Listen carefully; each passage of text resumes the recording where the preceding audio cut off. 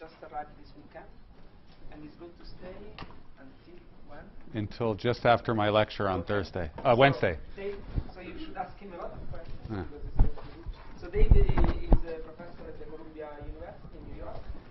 Uh, he has done a lot of work on different, uh, ma- many different topics, uh, and I would say mostly clustered around glasses, uh, with, uh, mostly on dynamics, and dynamical heterogeneity, mode coupling, and all these things, and also on quantum uh, systems, where he did a lot of work on uh, um, many-body localization, dynamical field theory, and many other topics in quantum systems. So you, can check.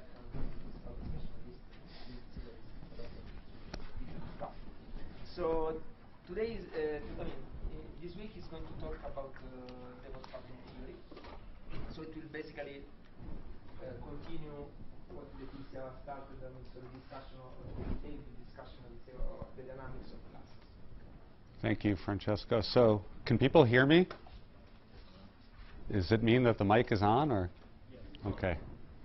Um, so, the, a- actually, in some sense, I think what I'm going to talk about will seem quite different than what Leticia was talking about until maybe uh, two lectures in or something, and then I may. Uh, what I'm going to try to do is connect what I'm going to tell you about today and probably parts of tomorrow um, with the phenomenology of uh, mean field spin glasses uh, to try to assess what the meaning of what I'm go- going to derive today is.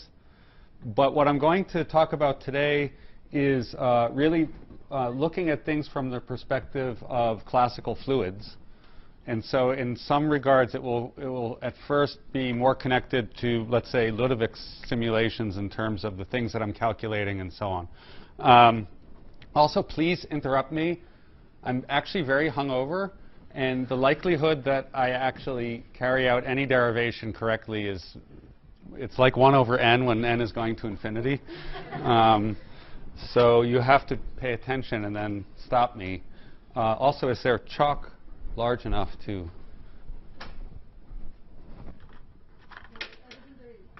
There was, you had a filled one of these. What happened to, oh, there.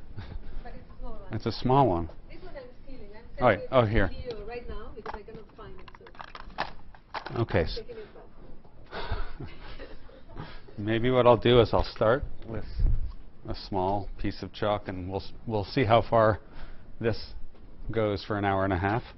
Um, or yeah, I could use the retarded giant pieces of chalk, but I and that's not politically correct. But no, I shouldn't shouldn't use that term. The, the challenged. the- uh, um, but I, I'll reserve that to last resorts. Um, so let me let me give you an outline, and I'm going to go slowly because I want to give you the idea. So uh, uh, uh, at least in one regard that I think is important, and then after about one lecture, so a third of the way in, I think I'll start to skip stuff.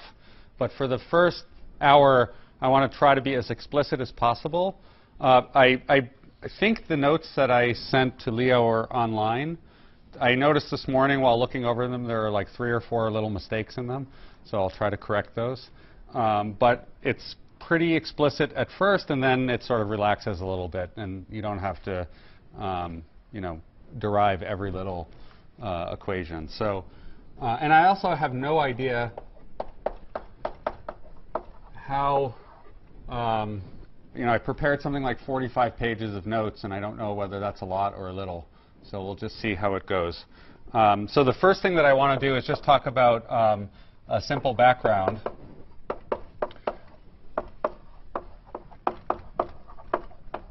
And this is just going to cover um, the kinds of observables and uh, um, things that we want to calculate uh, in a liquid uh, via what uh, I will call mode coupling theory. And some of these things I think Ludovic talked about, the intermediate scattering function, G of R, S of K. So I'll just go over that again uh, uh, as I need it. and then uh, what I'm going to derive is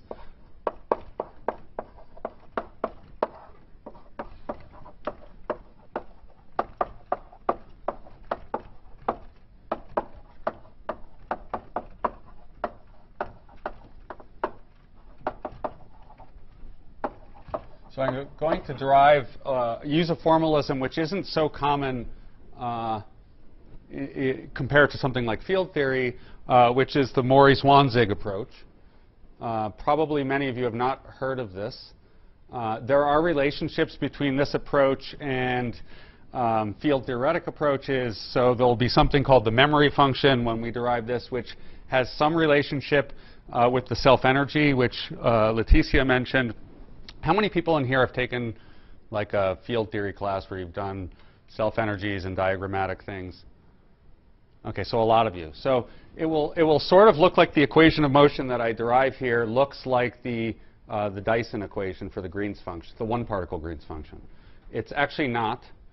Uh, it's deceptively, uh, i i I, I think it, it, it's, it's deceptive in, in a sense that it looks very, very similar. First, first and foremost, the equation I'm going to derive is, would be for the two-particle Green's function. It would be the density-density correlator, which is not the one-particle Green's function.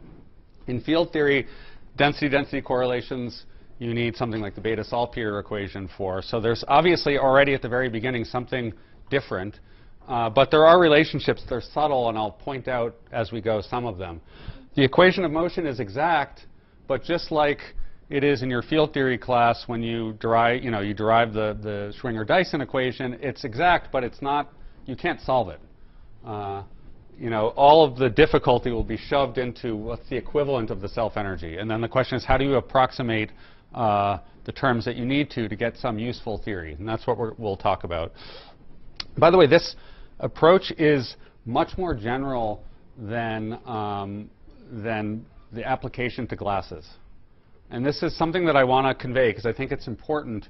Uh, the, the, you know, using memory functions and the Mori-Zwanzig approach is something that you see from time to time in hard condensed matter problems. So for condu conductivity problems, people will use, you know, the uh, the uh, approach for conductivity, and that's in terms of memory functions. Or if you look at Thierry Giamarchi's book, you can see the same thing in the book.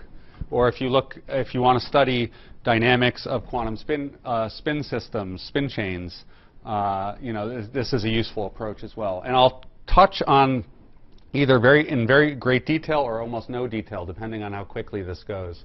Just an example of another problem that has nothing to do with glasses, just to show you that not only the Mori-Zwanzig approach can be very useful, um, but also mode coupling approaches can be very useful. So the, the uh, example that I picked was the uh, classic Fröhlich-Polaron problem, where you have a single electron in a polar medium. It's a quantum problem. You can easily write the Hamiltonian down. And uh, this is a problem that Feynman famously solved variationally for the ground state. And then in the 60s, people were interested in the mobility of that particle. And so first Feynman, uh, Hellwarth, uh, and Platzman wrote down a solution which is exceedingly complicated in terms of double path integrals. And uh, Kadanoff, two years later, wrote down a separate solution in terms of the Boltzmann equation. The, the, two solutions disagree. There's still a debate about why they don't give the same answer. They basically, the, the argument normally is that there's some switching of limits that are different in the two approaches. Um, but you can very, very easily rederive the Feynman approach from the Mori-Zwanzig equations and a, a, simple mode coupling approximation in like about a fifth of the number of equations that Feynman uses. It's much easier. So I just want, I, you know, it's in the notes. If we don't do it in detail, it's useful just to show you that the approach is general beyond uh, the study of, of the glass transition. So that's, uh,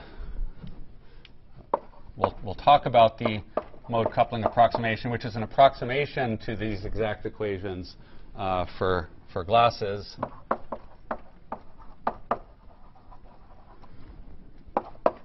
And then I'll talk about other, uh, if there's time. And uh, um, then I want to talk about the successes and failures of this approach, of this approach.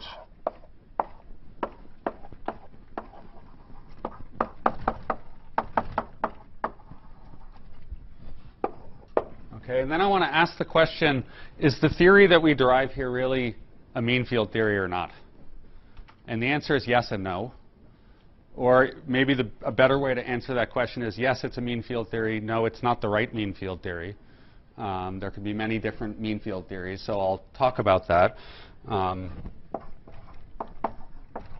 and this is confusing what I'm saying already because, as Leticia said, if you think in terms of something like the p spin model, so p is 3 or greater, then of course what I will what we'll talk about as mode coupling theory is exact for the dynamics. So of course it's the correct dynamics for that mean field model. The problem is there are many many different uh, mean field models that have different types of equations.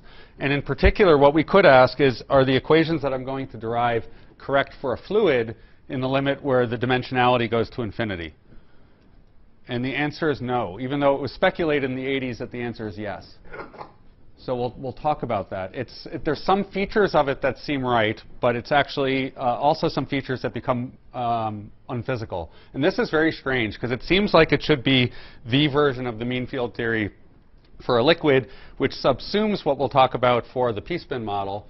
But actually, if you just solve the equations that we'll derive today, as d goes to infinity, you get unphysical results. It, the results are worse in high dimensions than they are in three dimensions. Uh, which is not what you want your mean field theory's properties to be. Um,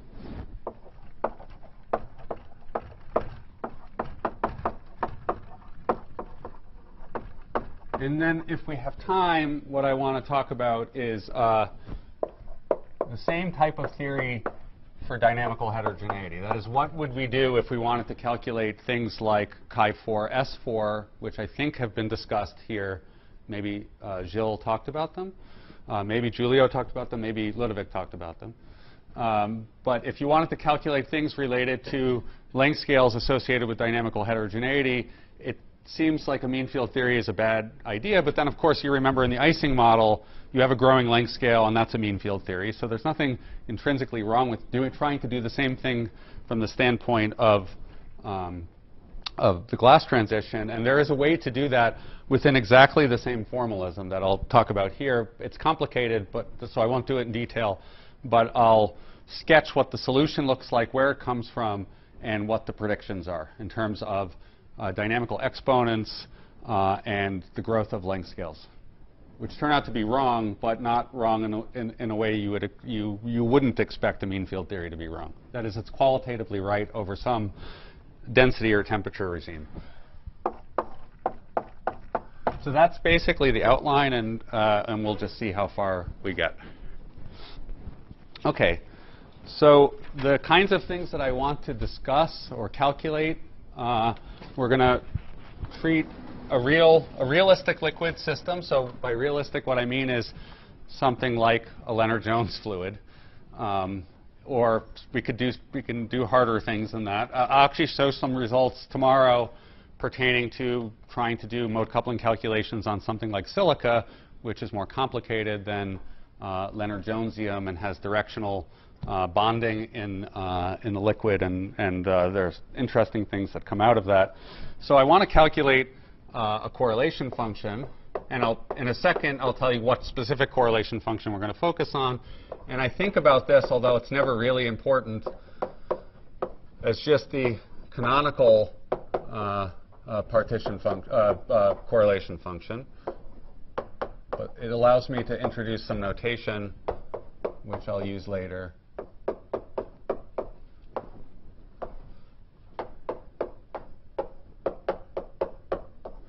So this will be everything that we're going to do is for equilibrium. And by the way, this is another thing that's kind of interesting. Um, in some ways, uh, what we're going to derive here for realistic fluids is a much more direct approach to getting at a particular type of uh, uh, equations that we want to solve than would be a field theoretic approach. That is, in the last 15 years, there have been a lot of attempts, including by us and by Leticia and by other people, to write down the field theoretic version of this uh, and it's very, very hard to get to the same equations. The reason why you would want to do that, though, is that field theory is much better when you want to look at out-of-equilibrium problems. So exactly what Leticia was talking about an hour ago, when you really have an aging problem or a, uh, uh, a quench problem, and you want to look at the response function and the correlation function separately, this is not a good way. That is, it's a very, very it's very, very uh, tightly tied to the equilibrium structure of the theory. And so one can try, and I think that there's partial success in doing this to generalize this, but everything that we're going to talk about is equilibrium. So this is going to be something just like uh, the canonical um, distribution. And L is what I'll call the Liouville operator.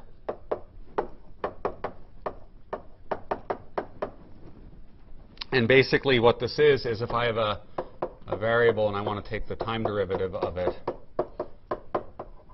this, I'm defining this to be where uh, IL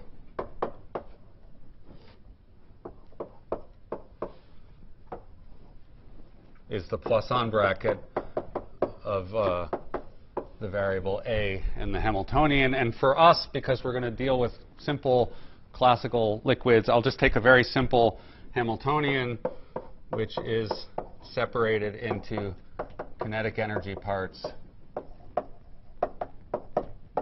plus pair. I'm going to assume pairwise uh,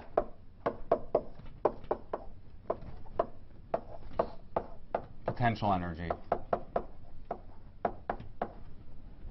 Okay, so if this is the Hamiltonian, then, uh, and I know that the Poisson bracket of two variables is just defined in the following way.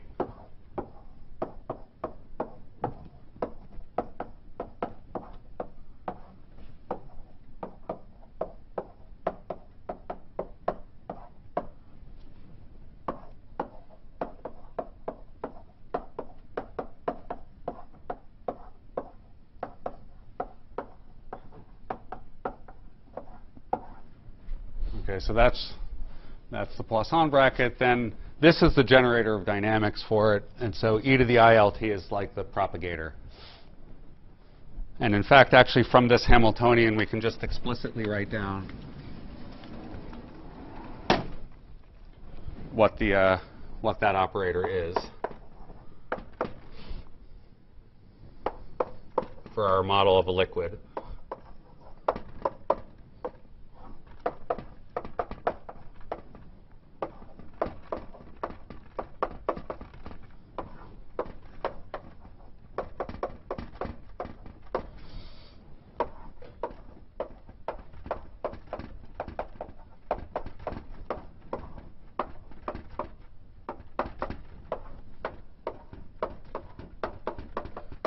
So of course, this is not really useful to us. None of this is useful to us. You know, we could say, oh, well, we want to calculate a correlation function. I need to calculate something like this.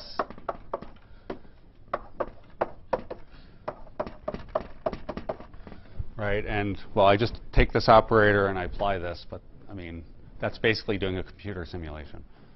Okay, in fact, it's not quite because I think Ludovic talked about the difference between microcanonical simulations and canonical simulations. Everything here, this would be like my canonical correlation function, but you don't do, really do computer simulations that way. At least I don't. And I saw Ludovic's video. He says he turns the thermostat off also.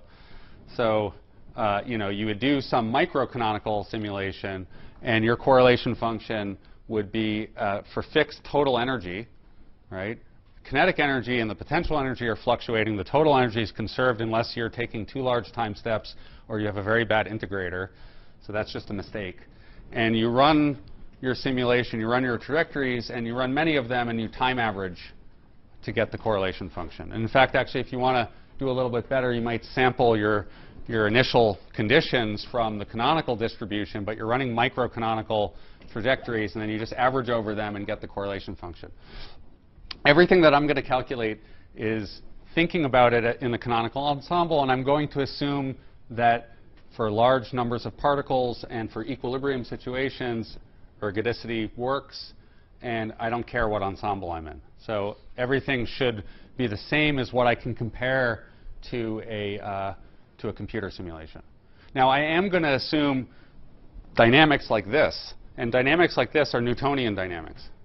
Right, I'm not going to assume Langevin dynamics. And then it's a, a less trivial thing to, to, uh, to, to ask and answer the question, well, then, you know, are the results you're going to get the same as if you were comparing to, you know, this is for Newtonian dynamics to Langevin dynamics. And actually, it, it turns out that we don't really have to worry about that, and the answer is yes, but it's, it's, uh, it's not obvious why that should be true. Okay. So, and also, one can carry through the calculations that I'm going to that I'm going to do now. These calculations uh, with Langevin dynamics too. It's actually harder, so I'm not going to do it. Okay. So, what kinds of uh, correlation functions do I want to calculate? Well, um, for the theory that I'm going to work out, I mostly want to talk about density fluctuations. So I can think about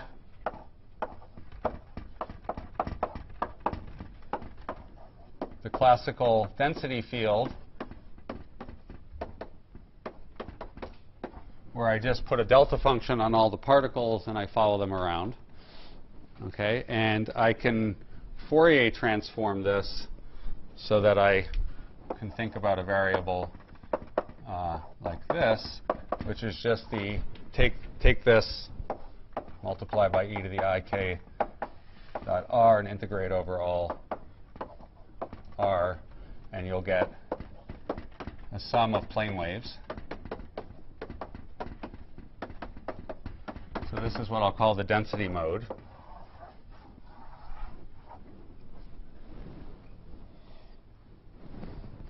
And the correlation function that I'm going to uh, be most interested in is what Ludovic called the intermediate scattering function.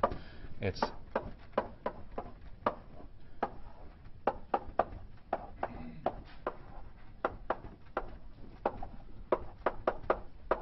it's this. All right. Yes.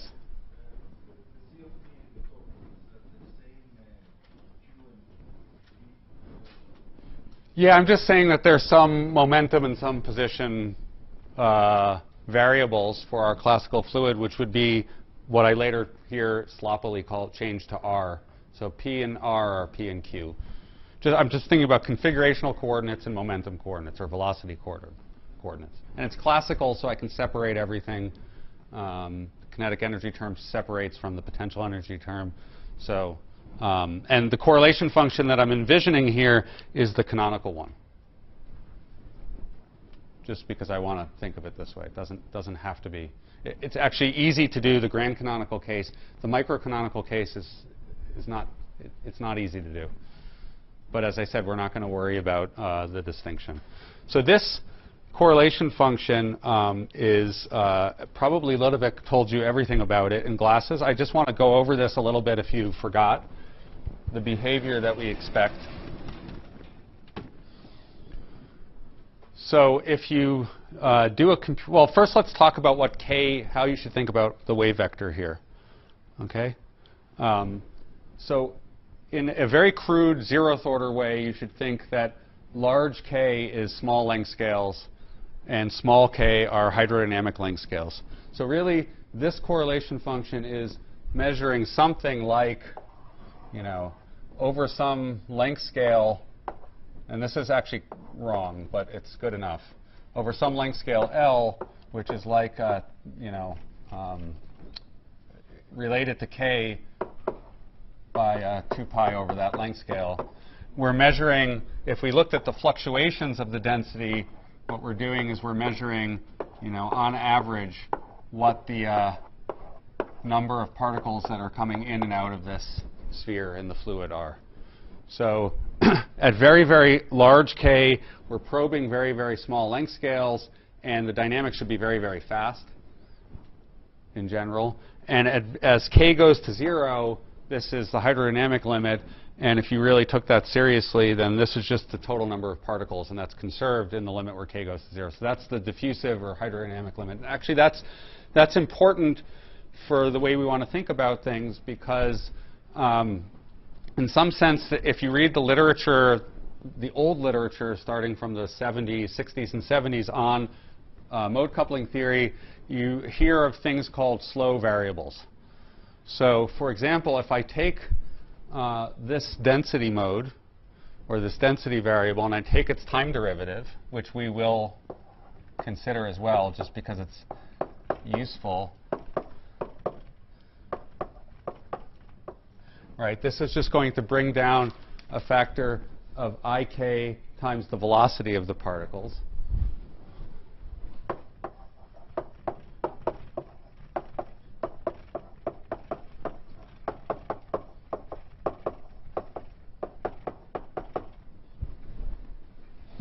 And this is equal to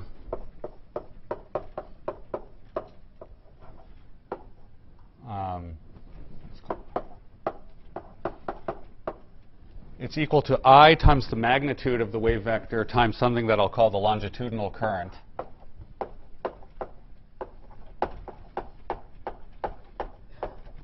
Which is just the sum over I of the direction of k dotted into this vector uh, it. So it's the current uh, along the direction of k. Okay?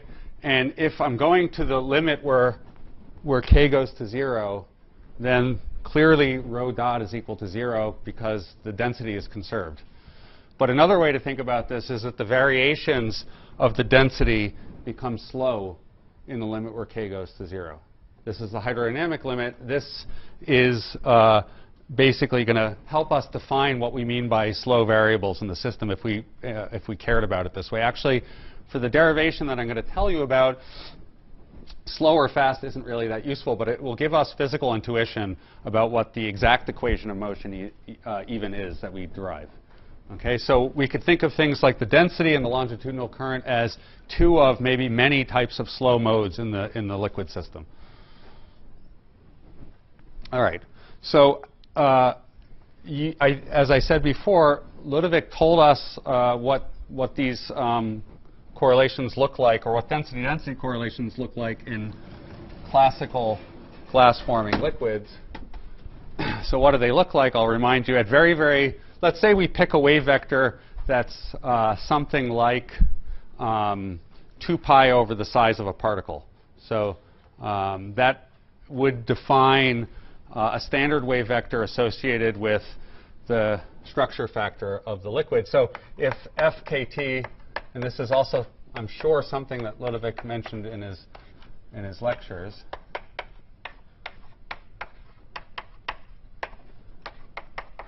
if I look at this at time 0, then this is defined to be the static structure factor of the fluid. Right? This is something, both of these things, the dynamic version of this, this is just for t equals 0. And this is basically the same information that's in the radial distribution function. So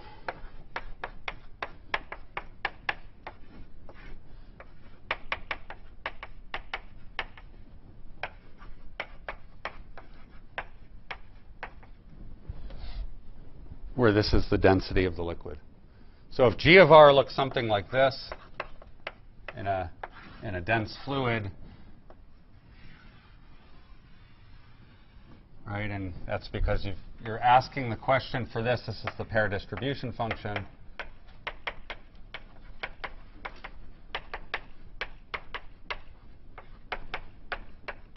So what is the pair distribution function? It's, it's asking the question, if I stick a particle at the origin, what's the probability that I find a particle distance r away? So it's telling me about two-point static uh, structural information.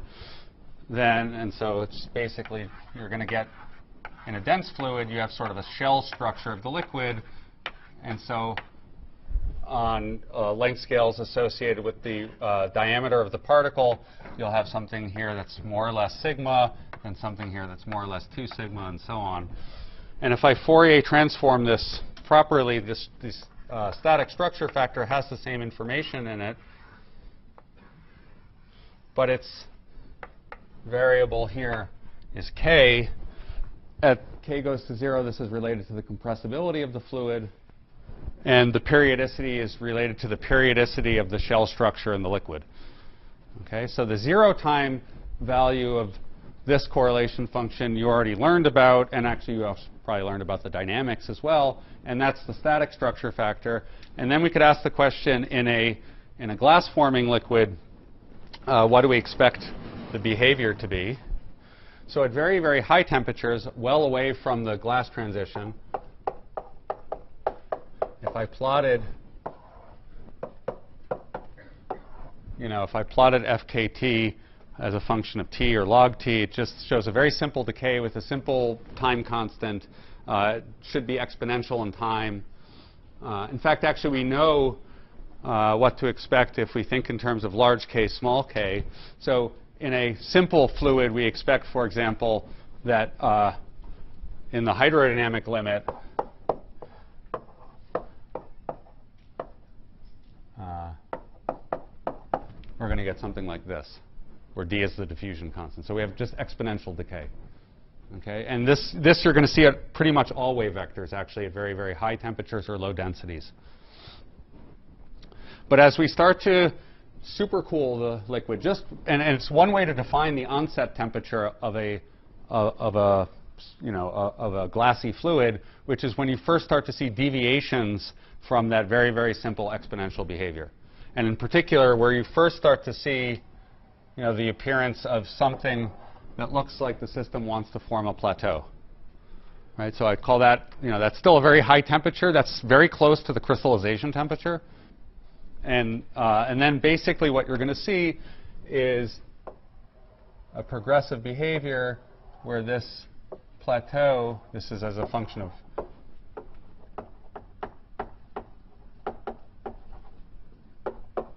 um, as a function of supercooling, the system is going to slow down. But more interestingly than just slowing down, you know, instead of just having a time constant that gets uh, smaller and smaller, or larger and larger, depending on what, you, what language you like to use for slowing down, um, you start to see the appearance of multiple regimes in the dynamics. And Leticia mentioned this this morning. Okay? So the behavior that we're going to see is, now I'm going to brainwash you a little bit. It's consistent with the following behavior. Whether or not you actually believe that this is really just overfitting or not, I can give you my opinion on in five minutes. Um, but what you'll start to see is that the decay into the, this, so this is like a plateau, which I'll call F. You know, there's some well-defined value that in, the, in a real liquid, unlike in the p-spin model, that's going to depend on the wave vector. Okay? So at different k, that plateau value is going to go up, down, up, down. It's going to go up and down actually with the structure of the fluid. And we can think about, we can call that, sometimes we call that the Debye-Waller factor of the, of the liquid. Okay, so uh, you know, if you plot what this plateau looks like when it's well defined, it's going to look something like this. Okay, so this is the height of this plateau. So this is actually a k-dependent thing. For spin glass people, this plateau is like the Edwards-Anderson parameter in the fluid. And so the behavior of the decay into this plateau is consistent with something like, uh, so I'll call this the early beta regime.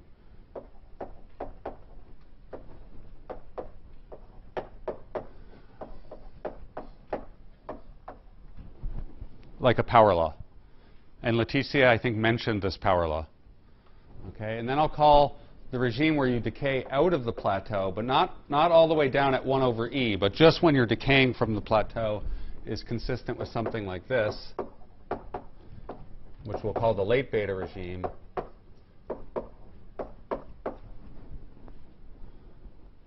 Okay? And in the theory that we're going to uh, develop, there is a relationship between these A and Bs. And uh, Leticia somewhat cryptically mentioned this because she didn't have time to talk about it. So for instance, in the P spin model, this relationship is exactly provable, and, but it's not robust in the sense that for p equals 3, it's different than for p equals 4, than for p equals 5, and it's different for different spin glass models. But there's always a relationship. And so for the uh, equations that I'm going to derive, the relationship is, uh, I think this is right, where this is a gamma function.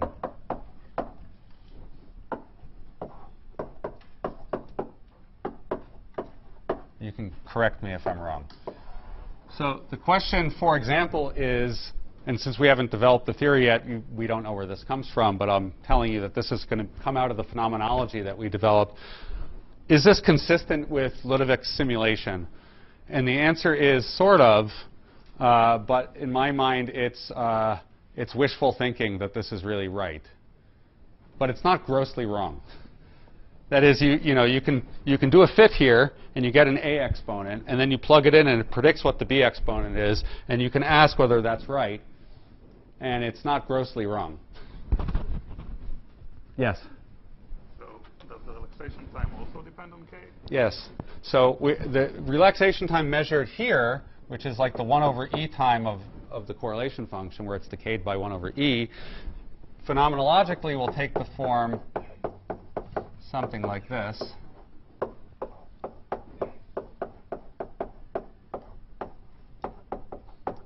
Okay, and beta will be less than 1.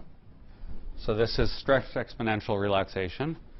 And uh, one of the reasons why it's sort of bullshit to uh, really hold to the idea that you can really measure this b exponent well is because where do you draw the line between the decay from 0.8 to 0.6 and then at 1 over e, the behavior is different.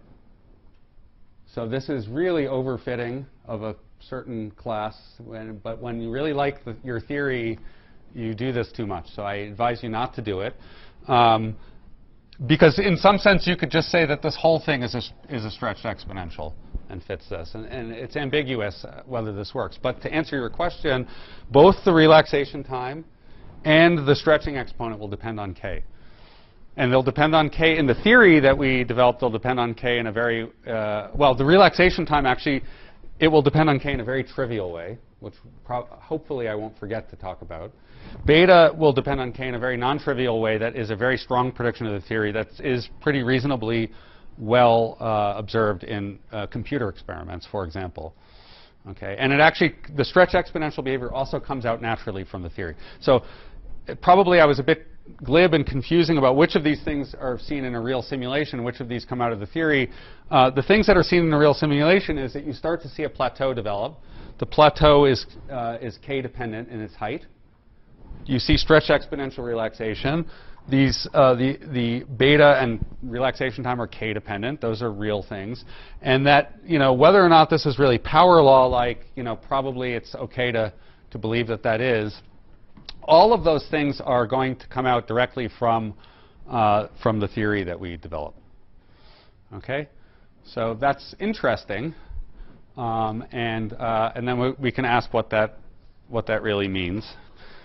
Um, okay, so I think that, oh, and one other thing that I want to note, because it's, go it's going to be important if I ever get to the last part of the lectures, which have to do with, uh, with dynamical heterogeneity, which is that you already know that you should take, um, in, in my definition of FKT, uh, by, by the way it's constructed, the sum of the wave vectors here is 0. Right? So I have rho star and rho. Rho star turns k into minus k. And so the sum of the two wave vectors there are equal to 0. That's just conservation of momentum. If I had k1 here and k2 here in equilibrium fluid, with, which, with translational invariance, you would get 0 or you would get silliness. Okay? In, the, in our approach to deriving what we're going to derive for, um, for dynamical heterogeneity, we're going to put an external field on the system and look at the susceptibility to a spatially varying field. And then you can actually have a matrix F, which is different k's here, such that the wave vectors of those two k's add up to cancel out the wave vector associated with the periodic modulation or the spatial variation of the field. That's still conservation of, of momentum, but it's conservation in a less trivial way because you have an external field. You could think of the same thing in a spatially inhomogeneous system, let's say where you have a wall or your, your fluid is con uh, confined in a box, right? And then you also uh, have to be careful about that. All right, are there any questions? So this should all be review. Okay, so what we're going to do now is develop as far as we can um, the, uh, the notion of uh, the memory function and the Mori-Zwanzig uh, equations for uh, our correlation function.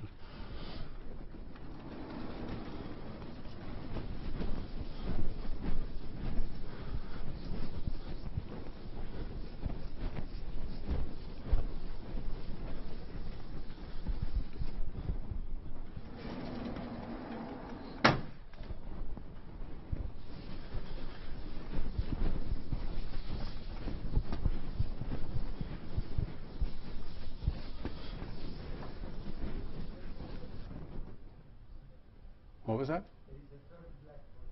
There's a third blackboard. This one goes, oh, good.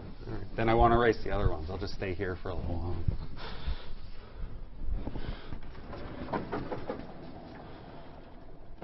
All right. Okay, so the first thing that I'm going to do is I'm going to define a scalar product of functions.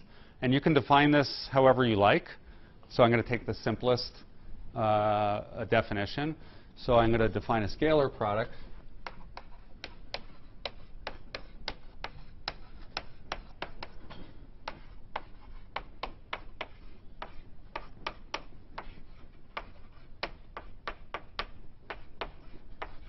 So basically, this notation means take, uh, you know, on the bra side is the complex conjugate, on the ket side is the actual variable. And these can be as a function, these can be dynamical, you know, it could be a of t and b of t, or, or a of t and b of t prime, and this would be a star of t, b of t prime. It's fine.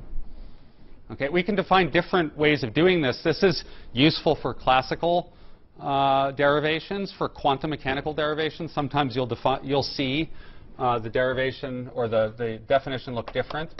So for example, you could define something like this.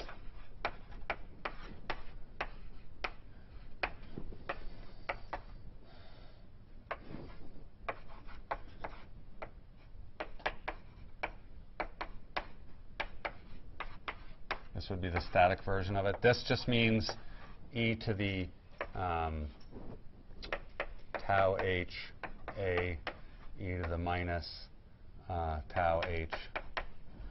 Okay, and it's integrated over this cycle in imaginary time. Right? That's called the Kubo transformation.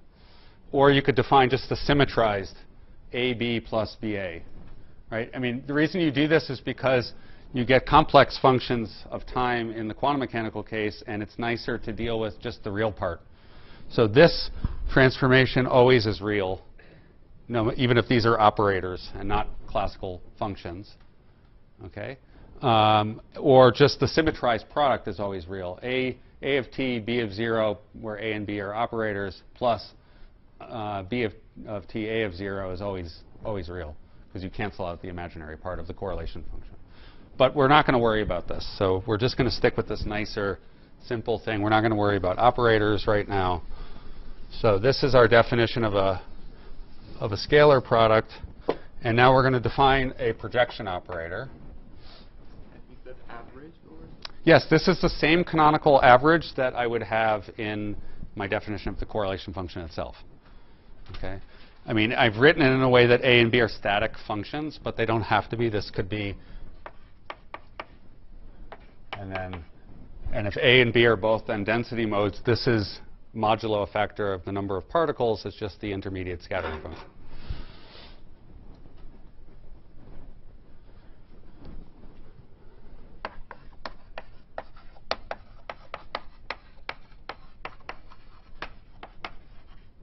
Okay, so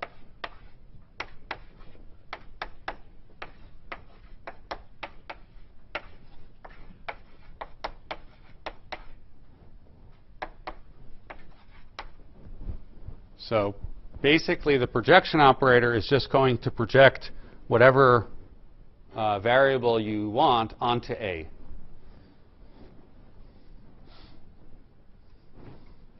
And if it turns out that I have a matrix of classical functions, then this is a, or a vector of classical functions, and I will actually, in our derivation, we're going to choose the density mode as the first component of a vector of A, and the second mode is going to be the longitudinal current. Okay, and that means that this then is a, a two by two matrix, and so this is the matrix inverse. But if it's just projecting onto a single scalar variable, this is just a number. It's just the it's just one over a squared average. Okay, and physically, obviously, this is just uh, you know in some space um, you are finding the component of your function b onto a. Right, so that's very simple.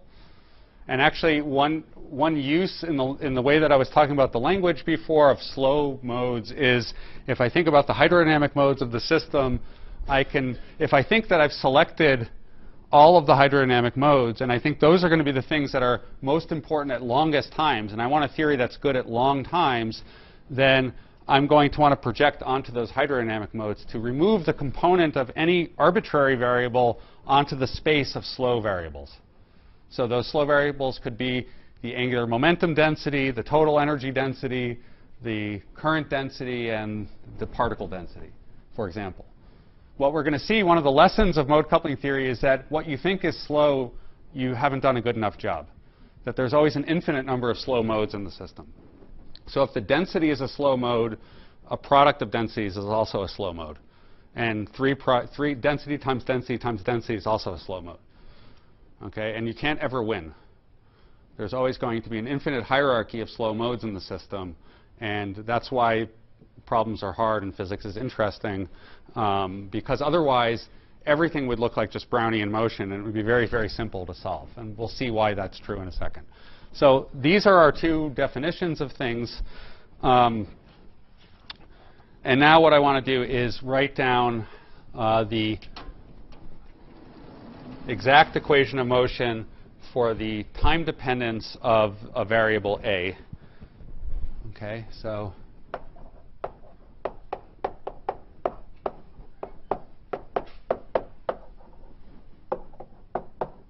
right, where I've already defined I times the Liouville operator, right? That's that complicated sum over derivatives and so on. That's just that's uh, the time dependence. This is the same thing as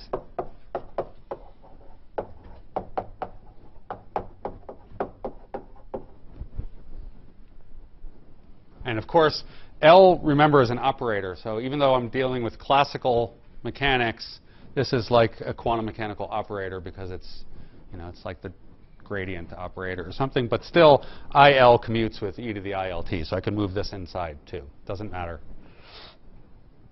Okay, so what I want to do is I want to take this here, and I want to write it in a way that looks like uh, I haven't done anything, and so far it will mean that I haven't done anything. So I'm just going to move this IL inside,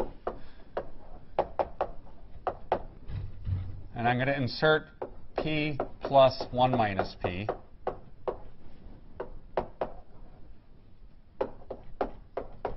Okay, so this is exact. P is my projection operator. Right? That's I've already defined it. It's under here. This is bad use of Blackboard. But it's just this. Okay, so P plus 1 minus P is 1. So I can insert 1 wherever I want to. And sometimes it's uh, useful and a good shorthand notion, I'll call this Q. So it's the complementary projection operator to P. So physically, or sort of quasi-physically, because there's no physics in this, um, P projects onto some variable of my choice or set of variables of my choice. Q is the complementary projection operator. It projects it onto the space orthogonal to P. Right? So for example, we, you can easily show that P squared equals P, but you can also show that P times Q equals 0. Why? Because it's P minus p times p, which is p, which is equal to 0. So this q is the projector onto the space uh, that, that is the orthogonal complement of p. Yes? Hmm? Yes, right. So I haven't even said what I want to choose A to be, but P is, is just this. Whatever your favorite thing is, now I really have to find a longer piece of chalk. So pick your favorite A, and this is P. Is that answering your question? What is different by that A? Uh, it doesn't have to be different than this A. All right, and in, in our derivation, it actually will not be different than this A. So you, it, it really seems stupid. I mean, it seems like we're not going to go anywhere, but you'll see we'll go somewhere. Mm-hmm. Uh huh. No, it's just a normalization. Right. I mean, but you would, you would, uh, it, it's going to make our life easier um, to have properties like that. For example, p squared wouldn't be equal to p if we didn't normalize uh, things properly. Right. So, Even in the case when it's AA inverse matrix, it's also just normalized. Say again? Even in the case that this is a matrix. hmm Yes, just a, it's a matrix normalization. hmm Any other questions? All right, so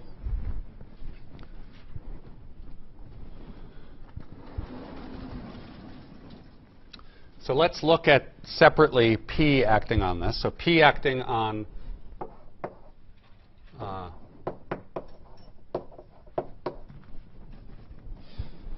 So this ILA is just A dot, right? So this is just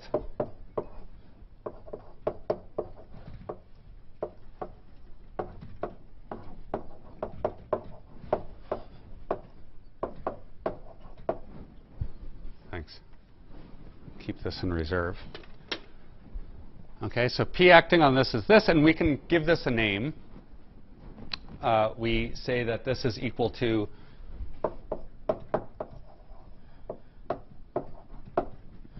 So I omega is defined to be uh, the inner product of A with A dot normalized by A with itself. And if, again, if uh, A is a vector, omega is a matrix. It's a 2 by 2 matrix. Uh-huh. In the definition of P, it's A of zero, right? A Mm. It's A of 0. And here also A, of zero for omega. It's, it's, it's, o, it's A of 0. So this is a static matrix. Of course, if I do this, this is going to be A of t because this e to the ILT is going to come along and bite on the A that's left over in the projection. All right, so basically what I have so far is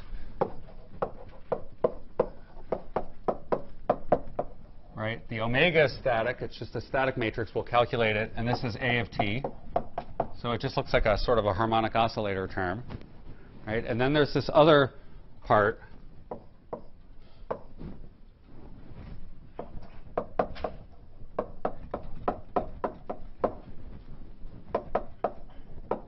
Right, so this is, and, and this is zero, right? This is at time zero. The time dependence comes from here. Okay, so this is my equation of motion so far. I haven't gone anywhere. Okay, now I'm going to do the one trick that makes this all useful. And then I'll explain to you why I did it, because at first it's going to look absolutely and utterly arbitrary. But it, it, you'll see that it's exact. The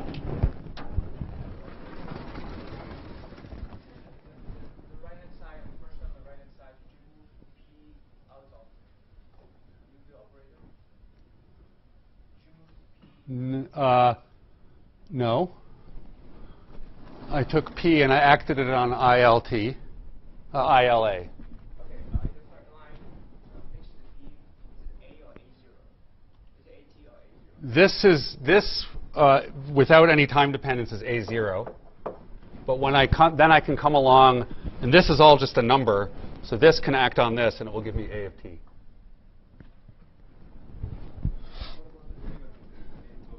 Yeah, but the a dot is inside a, a uh, an inner product. It's a number. So these are both at time zero, right? But this whole thing, whether they're matrices or scalar things, is just a number. It's just a, a quantity that's not that has no functional character. It's not a function of p and q. So e to the i, the propagator doesn't care about it. It just goes right through it. Sorry, right, so in the left hand side of the equation, so P acts on ILA zero, AAT, sorry. Sorry. This. Uh huh.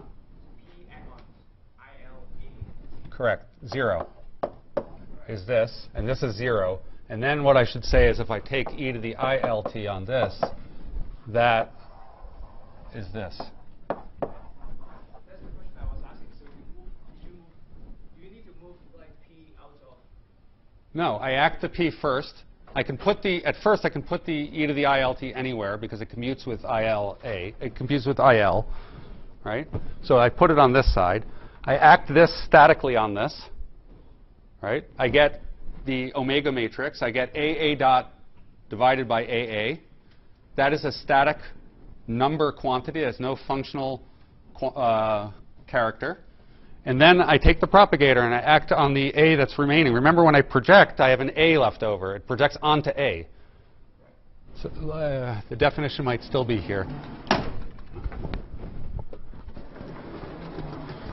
whenever I project, there's an A produced. It's this A that's hanging out over here that the e to the ILT snacks on and turns it into an A of t. Is that clear? Okay.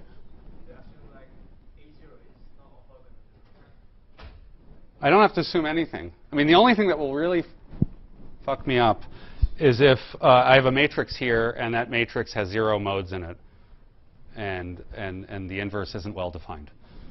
But I'm going to assume it's well defined.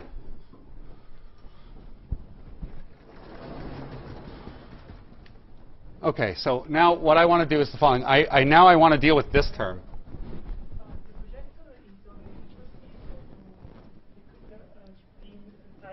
Yeah, it's on it's on the static a at time t. Right, actually, so in that sense, my projection operator, it's a good question. The projection operator is a static projection operator.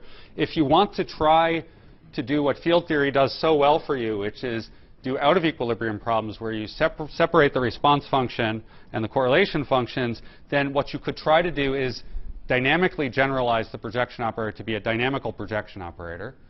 Right? And then you and it makes the derivation more complicated. And you can, you can do this, but it leads often to one big mess. Um, so I'm not going to talk about it.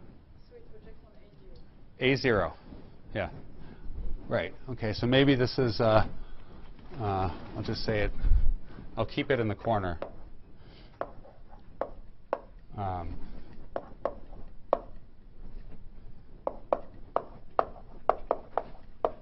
A0, B, A0, A0, inverse A0.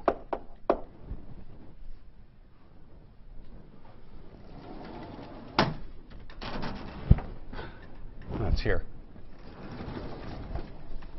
Okay, good. This was the board I wanted. Okay, so I want to I want to do something with this term. This term I'm going to keep. I like it. It looks nice. Uh, and what I'm going to do is I'm going to say that let's just make an ansatz.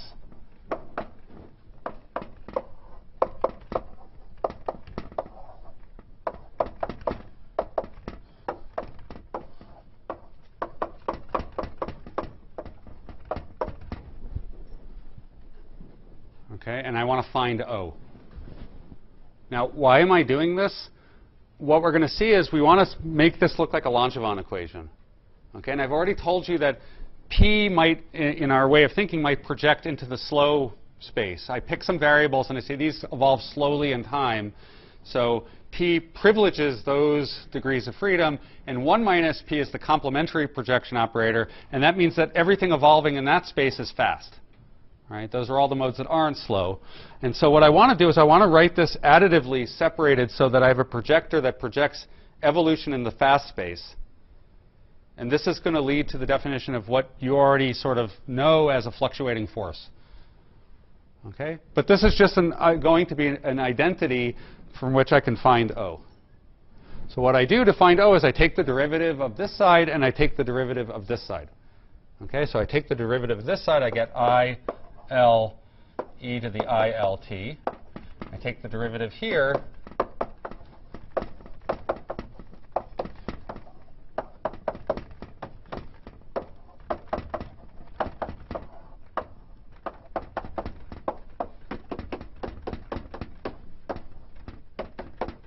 and there's an L.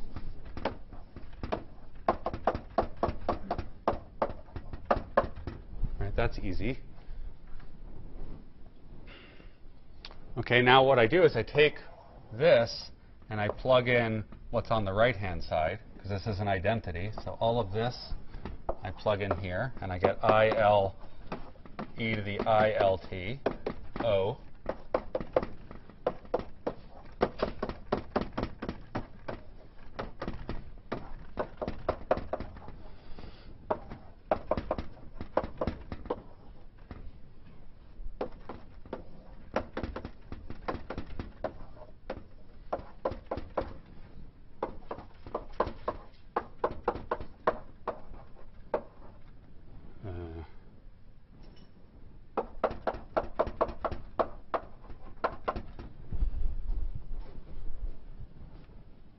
Okay, I can start canceling off terms. So I have an IL e to the ILTO, and I have an IL e to the ILTO. So goodbye, goodbye.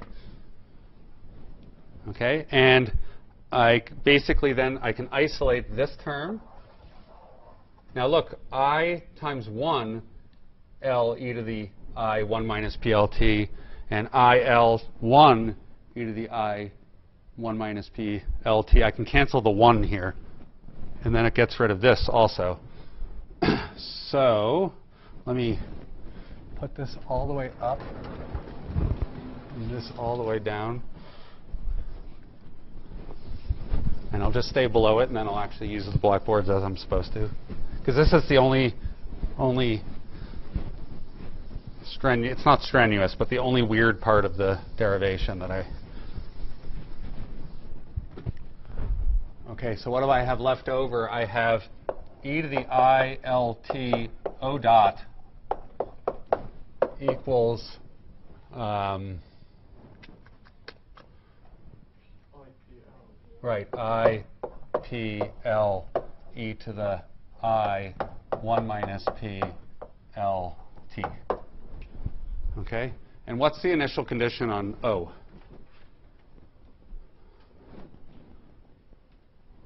Just set T to 0. What does O have to be? 0, right?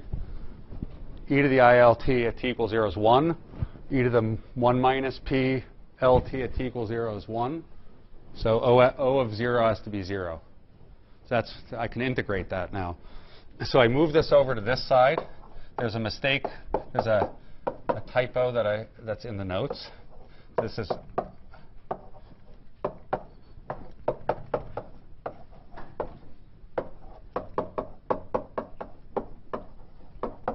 Okay, I integrate this using that initial condition, and e to the i l t times O of t will equal integral from 0 to t d tau. E to the, uh, let's see, minus t, or no, e to the t minus tau l t i p l e to the i 1 minus p l t tau.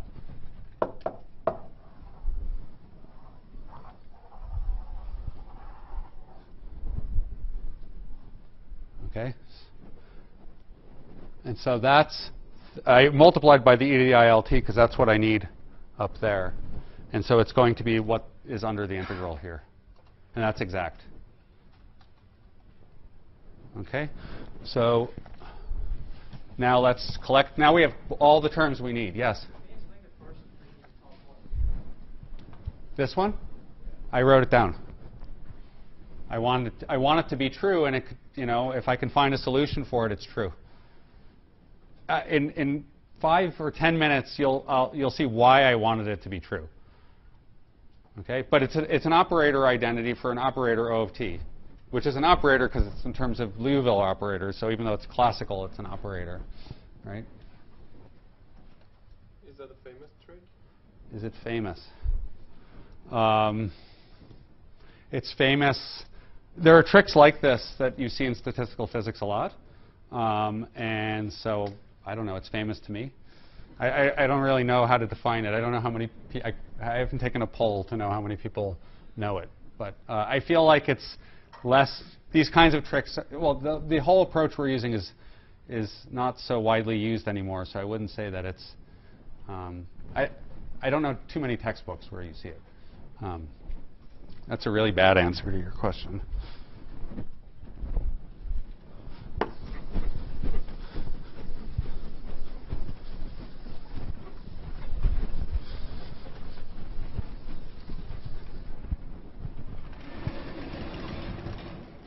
Are there three boards here too? Good.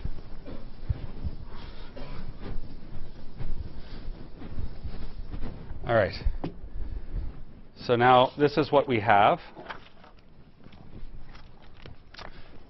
So uh, using this, we can say the following. We, uh, we have the following.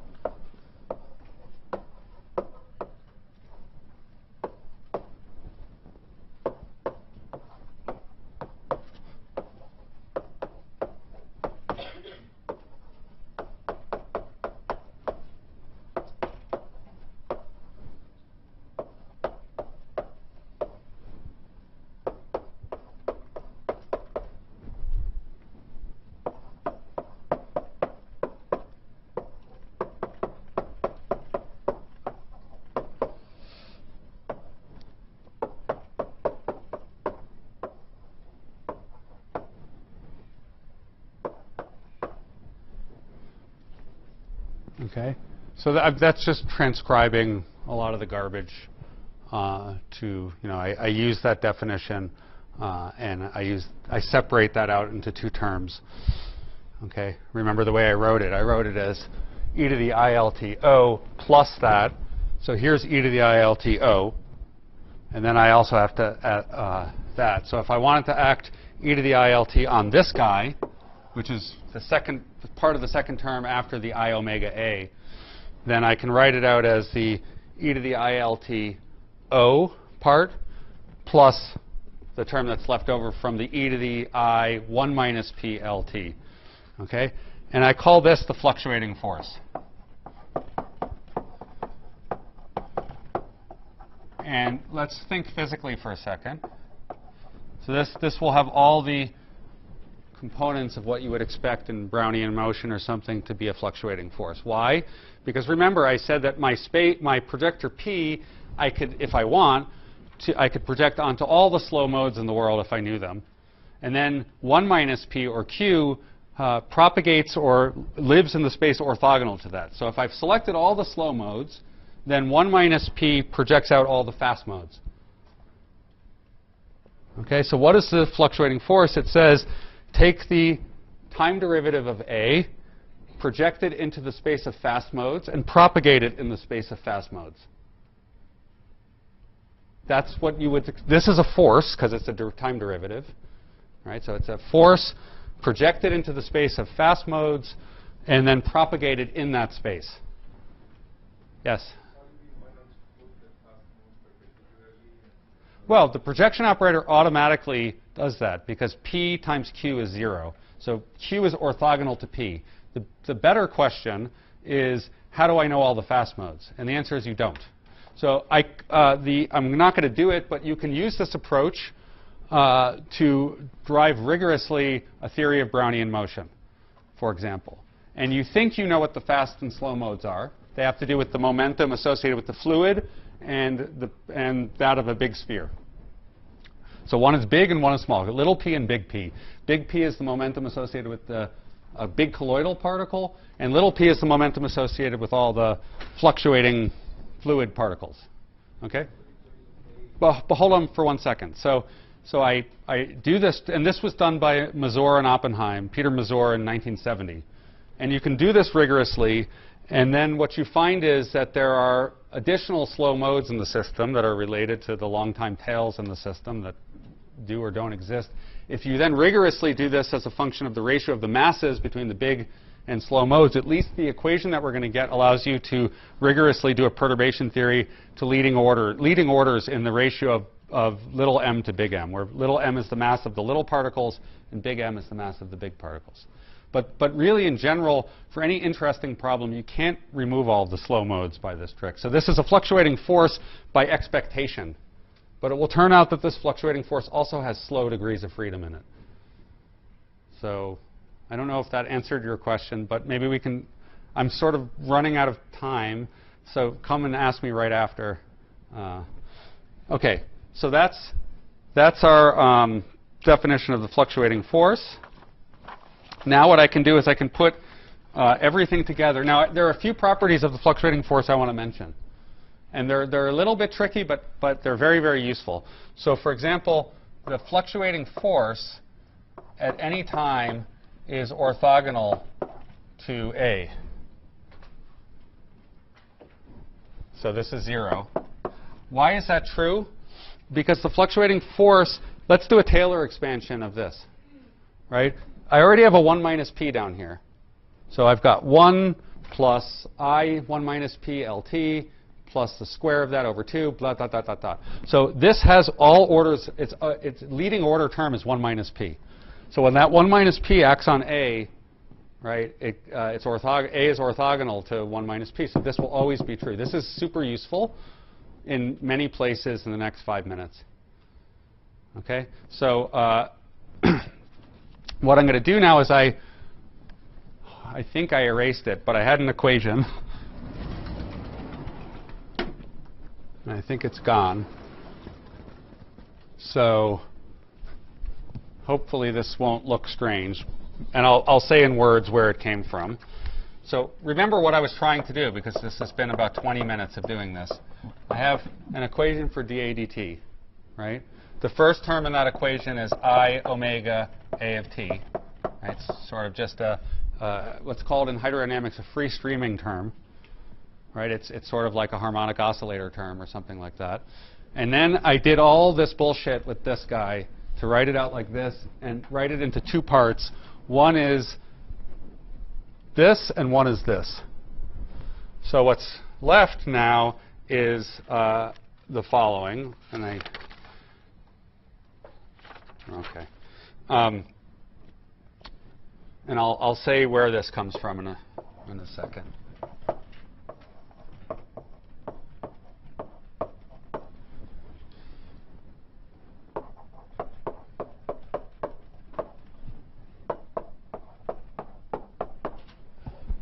Okay, so I haven't defined k yet. Um, but what I, what I have is I've got, remember, the, this is the term that I separated out. So I have, I'm going to have a term in my equation for dA dt that's just this on the right side. Okay? Now, I'm going to actually calculate IPLF, right? And that's going to leave me, so let's, let's write down what that is.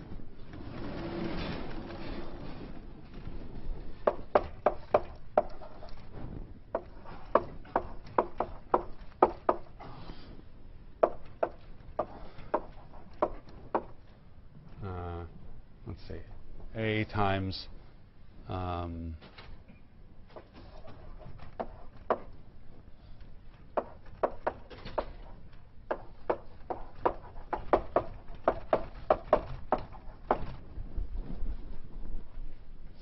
right?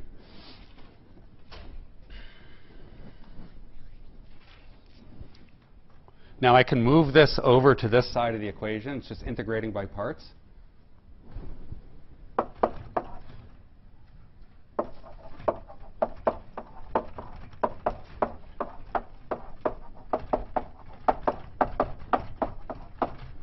This is zero.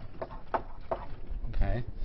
And I can actually insert a 1 minus p here because the p acting on LA is going to give me 0 for the same reason. But then what this looks like, it looks like negative the autocorrelation function of the fluctuating force times A A times A 0. Now where does this A to the T minus, so that, this is K. Uh, that's what's called the memory function. Okay? And the remaining uh, e to the i l t here comes and acts on the a that's left over from the projection and turns it into a of t minus tau. So that's where this comes from.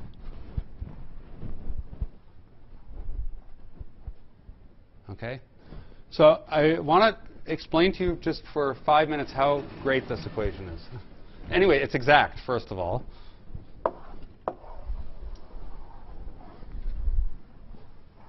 It's an exact equation of motion for A in terms of a very simple free streaming term, which is just a number or a matrix that's static times A itself. And then a time retarded term in terms of what's called a memory function in A at some earlier time and a fluctuating force. Okay? And the memory function is the autocorrelation function of the fluctuating force at time zero with itself at time t normalized by, by the A, A uh, overlap. And this is exact. It's, this is the Langevin equation. This is the exact Langevin equation that is true in, you know, exactly. okay, so this is this is this is what's under the hood there. This is the minus sign here came from this minus sign. Yes.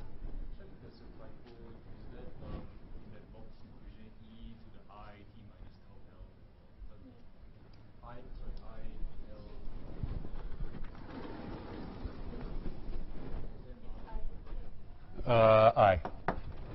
Thanks. Two typos. Um, there's one very, very, well, there are two very tricky things here. One of them is obvious, and one of them is not obvious. First, this looks nice, but I don't know what K is. So you could think if you're a field theory person, K is something like the self-energy. Right? This, I mean, when I, uh, I'm going to write this out in a second for the correlation function. Right? All I have to do to get the uh, an equation of motion for the correlation function and not the variable itself is multiply by a of 0 here multiply by a of 0 here, multiply by a of 0 here, and multiply by a of 0 here, right? And then just take the average. And remember, f at any time is orthogonal to a. So that term will go away. That is, I'm going to, I'll just do it. I multiply by a of 0 here, here, here, here, right? Then I take the average of what's left over, average, average, average. This average is 0. And so I get an exact equation of motion, which is just this.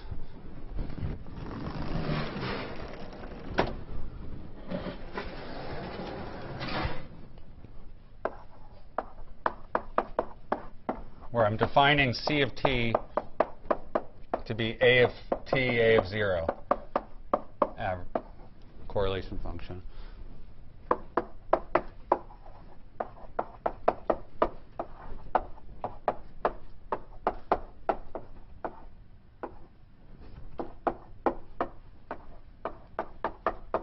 This is exact. So it sort of, in a, in a slightly perverted way, looks like the Dyson equation, where K is like a self-energy. But this is very deceptive. Um, actually, I have a colleague named Igor Aleiner, and I had a big argument with him about this, because you can do this for, for quantum problems also. And, and if you have a non-equilibrium problem, you can do this. You have an initial source term. And this is exact. And he said, no, no, no, Keldysh, Keldysh, Keldysh. So it's true that in Keldysh, you, uh, which I don't know if Leticia mentioned or not. Okay, so there's a way to do out of equilibrium Green's functions, and you, you have to worry about uh, like five different Greens. You have a, a time-ordered Green's function, a you know, a, a contour-ordered Green's function, a greater or lesser Green's function. You have to do all this tricks because you're working on on a contour in space in time for t and t prime. Here, there's no t and t prime. So why, how am I able to do this? Why is that? It seems better. It's not better, though, because this time evolution for the fluctuating force is in terms of this projected uh, 1 minus p propagator. And that's really hard to deal with. So in the, in the true self-energy, you never have this. You have regular uh, dynamics. In the memory function, you have these weird projected dynamics. So really, if I were to write out what this is, this is uh, the fluctuating force at time 0 e to the 1 minus p L t times the fluctuating force at time 0. That's what that term is. And this is star. Okay, that's, if you really want to show that this is equivalent, in, even in equilibrium, to Schwinger Dyson, you have to do a lot more work than you would think. I've done it, um, but I'm not going to do it here. So this is deceptively simple. But this equation is exact. And now all we have to do is just, you know, solve it. But all of the difficulty, just like it is for, for field theory and all the difficulties in the self-energy, all the difficulties in the memory function. Okay? But it has, you know, especially this equation, the, the equation for A itself, it has this beautiful form of a generalized Langevin equation, and it's exact. So it's the, it's the rigorous way to derive a generalized Langevin equation. Right? There is nothing approximate about it. And even the notion of what the fluctuating force and the memory function in terms of the autocorrelation of the fluctuating force is rigorously true. Now, you have to interpret the fluctuating force the way I did, but otherwise this is exactly a good starting point for rigorously defining in any system uh, a sort of Langevin-like dynamics and behavior. Okay, so actually one other thing, where in a second, I will start even though I have only five minutes just to define things and then we'll pick it up tomorrow. But we're going to actually be dealing with an A that is a vector, which we can do. And the vector I'm going to choose is going to be the density fluctuation and the longitudinal current.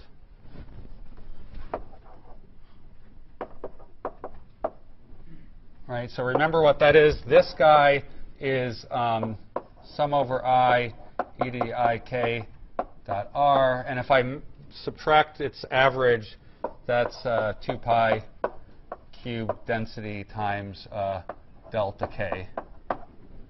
Right, that's the average of this. And then this guy is just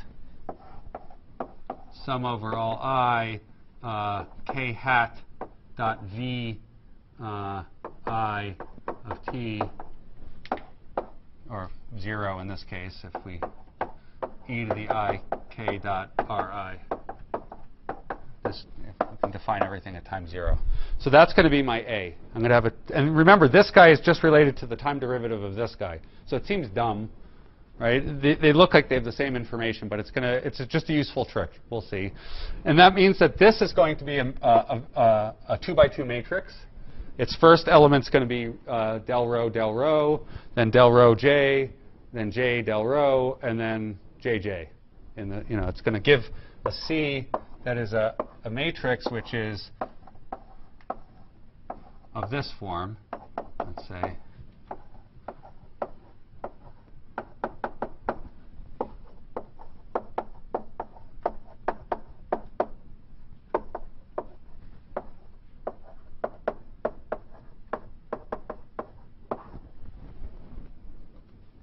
And omega is going to be a matrix. So this is a these, this, this matrix multiplication. This is the fluctuating force is going to be a 2 by 2 matrix. It turns out that the 2 by 2 matrix, one of the reasons you choose this is it makes the memory matrix really simple. It's three zero elements plus one non-zero element. So it's going to be 0, 0, 0, and then something that we'll calculate. And this is a matrix. Okay, so what we're going to do um, starting next time is just take this, plug it into the equation, right? We'll get uh, you know, a matrix equation. We're actually only going to care about one of the elements. And by focusing on one of the elements in that matrix equation, we are going to be able to write down a uh, exact equation for the, for the, uh, um, the intermediate uh, uh, scattering function. Okay. Then what we have to do, then this, that's the first step. That's easy. That will take us five, ten minutes because we already have this. But then what we have to do is uh, deal with this guy. And this we don't know how to do. So what we're going to do is we're going to actually look at what the form of the fluctuating force is. And the form of the fluctuating force is very interesting. It, it has two terms, but the most important term is, as you might guess, a force, right? Because it's a fluctuating force. And you can write out the force on particles as, and many of you have done this when you've dealt with, let's say, quantum problems. A force generally can be written as something like uh, sum over all k, k times uh, some function of k times rho minus k, rho k. All right, that's just the Fourier transform of a function that depends on i minus j. Okay? That means the fluctuating force looks like a pair of density modes. That's very important. So this then takes us back to the early 60s, first with Marshall Fixman, who was at Colorado State still. Uh, no one knows this, but he sort of started this. And then Kadanoff picked it up, Kadanoff and Swift, and then Kawasaki in the late, mid to late 60s to try to understand dynamics near critical points. And it was the observation that the memory function, uh, even if I thought I projected out the density, which is a slow mode near a you know, power law decaying critical point, it's, it's inside, living inside the memory function is something that depends on products of densities. And so that's what mode coupling is in this language, that I'm going to couple a single density mode to a product of density modes. And so basically what we're going to do is turn this memory function into an autocorrelation function of pairs of density modes. And then it looks like something like related to the polarization propagator in field theory for density correlation functions. It will just be something like density, density, density, density. And then what do you do with that? Well, you throw up your hands and say, well, I'll just factorize this into a product of two terms. Each of them is fkt, right? And that will close the equations. I will get a nonlinear integral differential equation which you might even ask, does it have unique solutions? It amazingly mathematically does, and they're very interesting. Uh, so the form of the equation is going to be something like df dt is proportional to something times f, and then something times ff times something related to f. And then everything is closed. All I'll need are structural pieces of information like the uh, static structure factor, temperature, density, and then I can plug that into the equation and solve it, either smartly, like Leticia was saying, or just iterate it on the computer. And then all this sort of crazy behavior where this plateau appears with a power law exponent A and, and an exponent B and stretched exponential behavior and a Debye-Waller factor or a plateau that depends on K in a funny way. All of these things will come out, and then we could ask, is this right? I mean, does it actually uh, recapitulate what we see in experiment? Does it recapitulate uh, what we see in, uh, in computer simulation? And the answer is, is I mean, sort of. It, it, it, seems to work well over the first few decades of uh, slow of you know slowing down uh, as we. It doesn't. It, it's not meant to be, and it will not be a theory of the glass transition. Right? It will not get us as far as the kinds of things that maybe other people uh, like Gilles uh, summarized. But it will be also very interesting to ask, well, what does it mean in the framework of something that might be a complete theory of the glass transition? Maybe it's just a part of that theory. And that's sort of that where we can make connections to things like mean field spin glasses, high, high dimensionality and high dimensional behavior, and then ask, you know, what, what does this all mean? So that's what we'll start to do. Uh, I think it's at 9 in the morning tomorrow.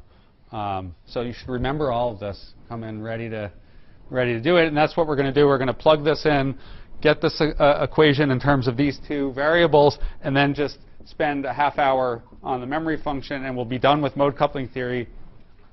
Then what we can do is look at the predictions of the theory and, uh, and go from there. So thank you.